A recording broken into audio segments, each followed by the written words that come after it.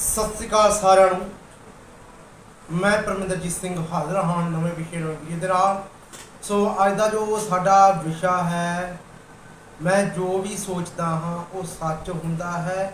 ਮੈਂ ਜੋ ਵੀ ਸੋਚਿਆ ਹੈ ਉਹ ਮੈਨੂੰ ਮਿਲਿਆ ਹੈ ਤੇ ਮੈਂ ਜੋ ਵੀ ਸੋਚ ਰਿਹਾ ਹਾਂ ਉਹ ਮੈਨੂੰ ਅੱਗੇ ਵੀ ਮਿਲ ਰਿਹਾ ਹੈ।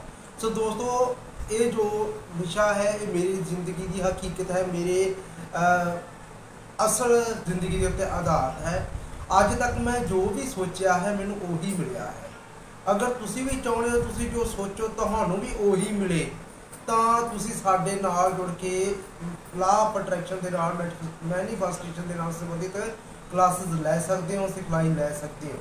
ਸੋ ਦੋਸਤੋ, ਮੈਂ ਜ਼ਿੰਦਗੀ ਵਿੱਚ ਜੇਕਰ ਆਪਣੀਆਂ ਖੁਸ਼ੀਆਂ ਬਾਰੇ ਸੋਚਿਆ ਹੈ, ਤਾਂ ਮੈਨੂੰ ਖੁਸ਼ੀਆਂ ਹੀ ਮਿਲੀਆਂ ਹਨ। ਜੇਕਰ ਮੈਂ ਦੁੱਖਾਂ ਬਾਰੇ ਸੋਚਿਆ ਹੈ ਤਾਂ ਮੈਨੂੰ ਦੁੱਖ ਹੀ ਮਿਲੇ ਹਨ। ਜੇ ਮੈਂ ਬਿਮਾਰੀ ਬਾਰੇ ਸੋਚਿਆ ਹੈ ਤੇ ਮੈਨੂੰ ਬਿਮਾਰੀ ਹੀ ਮਿਲੀ ਹੈ। ਜੇ ਮੈਂ ਤੰਦਰੁਸਤੀ ਬਾਰੇ ਸੋਚਿਆ ਹੈ ਤੇ ਮੈਨੂੰ ਤੰਦਰੁਸਤੀ ਹੀ ਮਿਲੀ ਹੈ। ਜੇ ਮੈਂ ਆਪਣੇ ਚੰਗੇ ਜੀਵਨ ਸਾਥੀ ਬਾਰੇ ਸੋਚਿਆ ਹੈ ਤੇ ਚੰਗਾ ਜੀਵਨ ਸਾਥੀ ਮਿਲਿਆ ਹੈ। ਸੋ ਅੱਗੇ ਵੀ ਜੋ ਕੁਝ ਮੈਨੂੰ ਮਿਲ ਰਿਹਾ ਹੈ ਉਹ ਮੇਰੀ ਸੋਚ ਦੇ ਮੁਤਾਬਕ ਹੀ ਮਿਲ ਰਿਹਾ ਹੈ। ਇਸ ਤੋਂ ਪਹਿਲਾਂ ਮੇਰੀ ਜ਼ਿੰਦਗੀ ਵਿੱਚ ਜੋ ਵੀ ਘਟਿਆ, ਉਹ ਮੇਰੀ ਸੋਚ ਦੇ ਮੁਤਾਬਕ ਘਟਿਆ। ਜਿਵੇਂ ਜਿਵੇਂ ਮੈਂ ਸੋਚਿਆ ਇਨ ਬਿਨ ਉਸੇ ਤਰ੍ਹਾਂ ਹੀ ਮੇਰੀ ਜ਼ਿੰਦਗੀ ਵਿੱਚ ਵਾਪਰਿਆ ਤੇ ਉਸੇ ਤਰ੍ਹਾਂ ਅੱਜ ਵੀ ਵਾਪਰ ਰਿਹਾ ਹੈ। ਜੋ ਵੀ ਮੈਂ ਆਸ਼ਾ ਕੀਤੀ ਆਪਣੇ ਆਪ ਤੋਂ, ਜੋ ਵੀ ਆਪਣੇ ਆਪ ਤੋਂ ਮੰਗਿਆ, ਆਪਣੇ ਮਨ ਤੋਂ ਮੰਗਿਆ, ਮੈਨੂੰ ਉਹੀ ਮਿਲਿਆ ਹੈ। ਸੋ ਇੱਥੇ ਇਹ ਤੁਹਾਨੂੰ ਸਮਝਾ ਦਈਏ ਕਿ ਮਨ ਬ੍ਰਹਿਮੰਡ ਹੈ।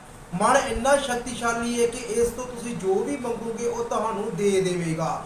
ਮਨ ਦਾ ਜੋ ਔਰਾ ਹੈ, ਮਨ ਦੀ ਜੋ ਪਾਵਰ ਹੈ, ਮਨ ਦੀ ਜੋ ਸ਼ਕਤੀ ਹੈ ਇਹ ਤੁਹਾਨੂੰ ਇਸ ਬ੍ਰਹਿਮੰਡ ਦੇ ਵਿੱਚ ਜੋੜਦੀ ਹੈ ਤੇ ਮਨ ਬ੍ਰਹਿਮੰਡ ਦਾ ਹਿੱਸਾ ਹੈ, ਮਨ ਹੀ ਬ੍ਰਹਿਮੰਡ ਹੈ।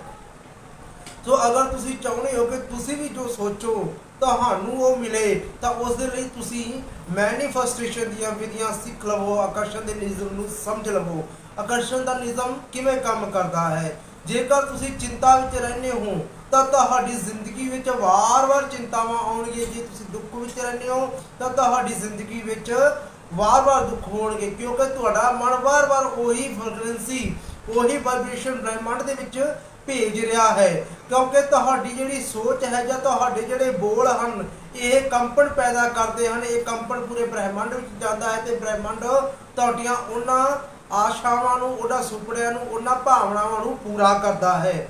ਅਗਰ ਤੁਹਾਡੇ ਜੀਵਨ ਦੇ ਵਿੱਚ ਬਹੁਤ ਸਾਰੇ ਦੁੱਖ ਹਨ, ਬਹੁਤ ਸਾਰੀਆਂ ਚਿੰਤਾਵਾਂ ਹਨ ਤਾਂ ਕਿਤੇ ਨਾ ਕਿਤੇ ਤੁਸੀਂ ਬਹੁਤ ਸਾਰੇ ਦੁੱਖਾਂ ਤੇ ਚਿੰਤਾਵਾਂ ਦੇ ਨਾਲ ਘਿਰੇ ਹੋਏ ਹੋ। ਤੁਸੀਂ ਵਾਰ-ਵਾਰ ਆਪਣੇ ਧਿਆਨ ਨੂੰ ਦੁੱਖਾਂ ਦੇ ਚਿੰਤਾਵਾਂ ਦੇ ਉੱਤੇ ਇਕਾਗਰ ਕਰ ਰਹੇ ਹੋ। ਜਿਸ ਦੀ ਵਜ੍ਹਾ ਤੇ ਕਰਕੇ ਤੁਸੀਂ ਵਾਰ-ਵਾਰ ਦੁੱਖਾਂ ਦੇ ਵਿੱਚ ਜਾ ਰਹੇ ਹੋ, ਵਾਰ-ਵਾਰ ਚਿੰਤਾਵਾਂ ਦੇ ਵਿੱਚ ਜਾ ਰਹੇ ਹੋ। ਸੋ ਅਗਰ ਤੁਸੀਂ ਚਾਹੁੰਦੇ ਹੋ ਕਿ ਤੁਹਾਡੀ ਜ਼ਿੰਦਗੀ ਸੁੱਖਾਂ ਨਾਲ ਬਤੀਤ ਕਰੇ ਤੇ ਆਪਣੇ ਧਿਆਨ ਨੂੰ ਸੁੱਖਾਂ ਉੱਤੇ ਇਕੱਤਰ ਕਰੋ।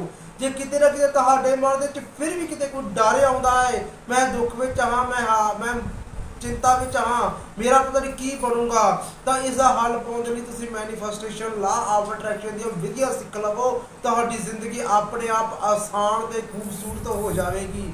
ਸੋ ਕਦੇ ਵੀ ਚਿੰਤਾ ਵਿੱਚ ਨਹੀਂ ਜਾਣਾ। ਜੇਕਰ ਚਿੰਤਾ ਵਿੱਚ ਜਾਓਗੇ ਤਾਂ ਦੁੱਖ ਹੀ ਪਾਓਗੇ। ਸਾਡੇ ਗ੍ਰੰਥ ਕਹਿੰਦੇ ਹਨ, ਮਨ ਬ੍ਰਹਿਮੰਡ ਦਾ ਹਿੱਸਾ ਹੈ। ਮਨ ਦੇ ਵਿੱਚ ਇੰਨੀ ਕੀ ਜ਼ਿਆਦਾ ਸ਼ਕਤੀ ਹੈ ਕਿ ਇਹ ਪੂਰੇ ਸੰਸਾਰ ਨੂੰ ਆਪਣੇ ਵੱਸ ਵਿੱਚ ਕਰ ਲੈਂਦਾ ਹੈ। ਸੋ ਬਹੁਤ ਸਾਰੇ ਲੋਕ ਐਸੇ ਤੁਸੀਂ ਸੰਸਾਰ ਦੇ ਵਿੱਚ ਵੇਖੇ ਹੋਣਗੇ, ਜਿਹੜੇ ਬਹੁਤ ਜ਼ਿਆਦਾ ਖੁਸ਼ ਅਤੇ ਸਮਰਿੱਧੀ ਦੇ ਨਾਲ ਧਨ ਦੌਲਤ ਦੇ ਨਾਲ ਭਰੇ ਹੋਏ ਹਨ। ਉਹਨਾਂ ਦੇ ਜੀਵਨ ਦੇ ਵਿੱਚ ਬਹੁਤ ਸੁੱਖ ਹਨ ਤੇ ਉਹ ਆਪਣੇ ਸੁੱਖਾਂ ਦਾ ਆਨੰਦ ਵੀ ਲੈ ਰਹੇ ਅਸੀਂ ਕਹਿ ਰਹੇ ਹਾਂ ਕਿ ਉਹ ਉਹਨਾਂ ਨੇ ਕੋਈ ਚੰਗੇ ਕਰਮ ਕੀਤੇ ਹੁੰਦੇ ਹਨ। ਕਰਮ ਚੰਗਾ ਕਿਵੇਂ ਬਣਦਾ ਹੈ? ਚੰਗਾ ਕਰਮ ਸਾਡੀ ਸੋਚ ਤੋਂ ਬਣਦਾ ਹੈ, ਤੁਹਾਡੀ ਭਾਵਨਾ ਤੋਂ ਬਣਦਾ ਹੈ।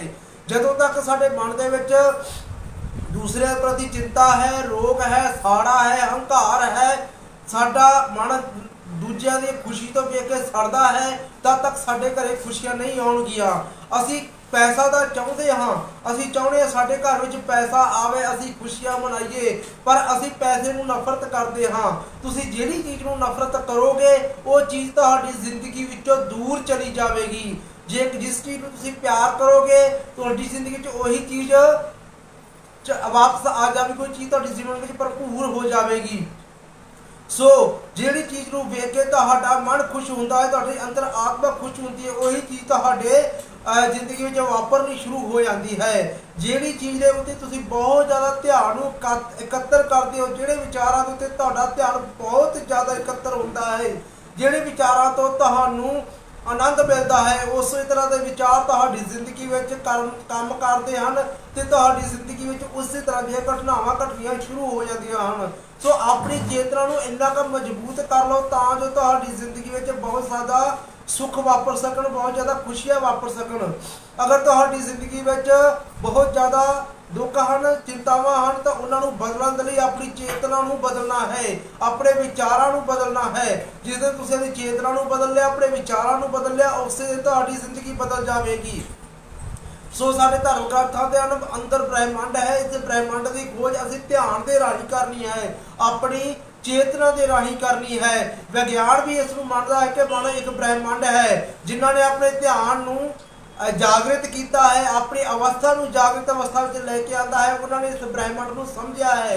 ਵਿਗਿਆਨਿਕ ਬੁੱਧੀ ਵਾਲੇ ਲੋਕ ਇਸ ਵਿਧੀਆਂ ਨੂੰ ਨਹੀਂ ਸਮਝ ਸਕਣਗੇ ਕਿਉਂਕਿ ਉਹਨਾਂ ਦੇ ਮਨ ਦੇ ਵਿੱਚ ਸਿਰਫ ਜੋ ਚੀਜ਼ ਸਾਹਮਣੇ ਹੈ, ਉਹੀ ਪ੍ਰਮਾਣ ਹੈ। ਉਸ ਤੋਂ ਇਲਾਵਾ ਹੋਰ ਕੋਈ ਪ੍ਰਮਾਣ ਨਹੀਂ ਹੈ। ਪਰ ਅਧਿਆਤਮਿਕਤਾ ਦੇ ਵਿੱਚ ਜੋ ਅੰਦਰ ਲੁਕੀ ਹੋਈ ਚੀਜ਼ ਹੈ ਉਸ ਨੂੰ ਖੋਜਣਾ ਹੀ ਅਸਲ ਜਾਗ੍ਰਿਤੀ ਹੈ। ਇਕਾਗਰ ਹੋਣਾ ਤੇ ਜਾਗ੍ਰਿਤ ਹੋਣ ਵਿੱਚ ਬਹੁਤ ਫ਼ਰਕ ਹੁੰਦਾ ਹੈ।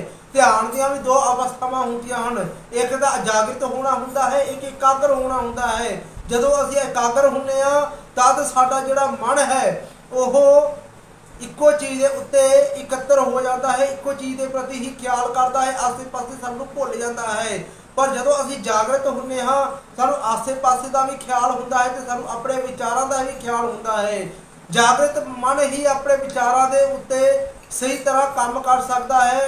ਇਕਾਗਰ ਕੀਤਾ ਮਨ ਨਹੀਂ, ਇਕਾਗਰਤਾ ਤੁਹਾਨੂੰ ਮੰਦਬੁੱਧੀ ਬਣਾਉਣ ਦੇ ਵਿੱਚ ਵੀ ਸਹਾਈ ਹੁੰਦੀ ਹੈ। ਇਕਾਗਰਤਾ ਤੁਹਾਡੇ ਚੇਤਨਾ ਦੇ ਵਿੱਚ ਇੱਕ ਸੁਸਤੀ ਲੈ ਕੇ ਆਉਂਦੀ ਹੈ, ਤੁਹਾਨੂੰ ਥਕਾਉਂਦੀ ਹੈ, ਪਰ ਜਾਗਰਤੀ ਤੁਹਾਨੂੰ ਐਕਟਿਵ ਕਰਦੀ ਹੈ। ਜਾਗਰਿਤ ਇਨਸਾਨ ਅਵੇਅਰ ਇਨਸਾਨ ਹਰ ਚੀਜ਼ ਦੇ ਵਿੱਚੋਂ ਲੌਜੀਕਲੀ ਉਸ ਦੇ ਪ੍ਰਮਾਣ ਲੱਭਦਾ ਹੈ। ਇਕਾਗਰਤਾ ਨਾਲ ਇਕਾਗਰਤਾ ਖੋਜਦੀ ਹੈ, ਇਕਾਗਰਤਾ ਤੋੜ ਭੰਨ ਕਰਦੀ ਹੈ। ਜਾਗਰਤੀ ਤੋੜਦੀ ਨਹੀਂ ਹੈ, ਜਾਗਰਤੀ ਬਣਦੀ ਹੈ। ਜਦੋਂ ਅਸੀਂ ਅਵੇਅਰ ਹੁੰਨੇ ਆ ਅਸੀਂ ਤੋੜਦੇ ਨਹੀਂ, ਅਸੀਂ ਜੋੜਦੇ ਹਾਂ।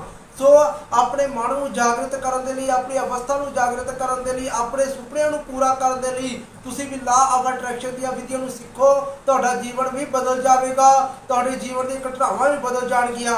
ਆਪਣੇ ਆਪ ਨੂੰ ਇੰਨਾ ਕੁ ਖੁਸ਼ ਰੱਖੋ ਕਿ ਤੁਹਾਡੀ ਜ਼ਿੰਦਗੀ ਵਿੱਚ ਖੁਸ਼ੀਆਂ ਵਾਪਰਨ। ਆਪਣੇ ਆਪ ਨੂੰ ਇੰਨਾ ਕੁ ਸ਼ਾਂਤ ਰੱਖੋ ਤਾਂ ਜੋ ਤੁਹਾਡੀ ਜ਼ਿੰਦਗੀ ਵਿੱਚ ਸ਼ਾਂਤੀ ਆਵੇ।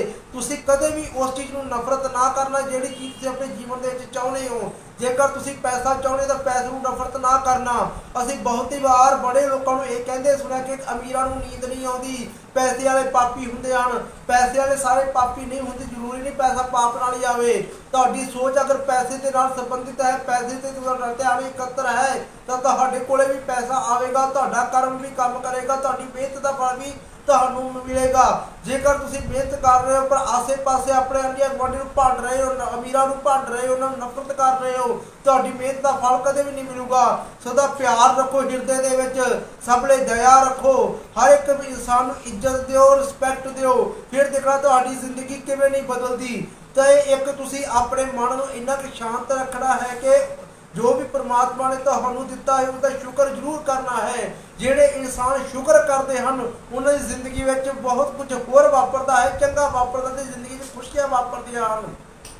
ਸੋ ਮੈਂ ਤੁਹਾਨੂੰ ਕਹਿਣਾ ਹਾਂ, ਮੈਂ ਅੱਜ ਤੱਕ ਜੋ ਵੀ ਪਾਇਆ ਹੈ, ਜੋ ਵੀ ਮੈਨੂੰ ਮਿਲਿਆ ਹੈ, ਉਹ ਮੇਰੀ ਸੋਚ ਦਾ ਮਿਲਿਆ ਹੈ, ਮੇਰੇ ਕਰਮ ਦਾ ਮਿਲਿਆ ਹੈ। ਅਗਰ ਤੁਸੀਂ ਵੀ ਚਾਹੁੰਦੇ ਹੋ, ਤੁਸੀਂ ਜ਼ਿੰਦਗੀ ਵਿੱਚ ਖੁਸ਼ੀਆਂ ਪਾਓ ਤੁਹਾਡੀ ਸੋਚ ਵੀ ਚੰਗੀ ਹੋਵੇ, ਤੁਹਾਡੀ ਸੋਚ ਦੇ ਮੁਤਾਬਕ ਵਾਪਰੇ, ਤਾਂ ਤੁਸੀਂ ਵੀ ਸਾਡੇ ਨਾਲ ਜੁੜ ਕੇ ਆਪਣੀ ਸੋਚ ਨੂੰ ਮਜ਼ਬੂਤ ਬਣਾ ਸਕਦੇ ਹੋ। ਸੋ ਮੈਨੂੰ ਆਸ ਹੈ, ਅੱਜ ਦਾ ਇਹ ਵਿਸ਼ਾ ਤੁਹਾਨੂੰ ਪਸੰਦ ਆਇਆ ਹੋਵੇਗਾ। ਮਿਲਦੇ ਫਿਰ ਕਿਸੇ ਨਵੇਂ ਵਿਸ਼ੇ ਨਾਲ ਵੀਡੀਓ ਦੇ ਨਾਲ। ਸਾਡੇ ਨਾਲ ਬਣੇ ਰਹੋ। ਧੰਨਵਾਦ।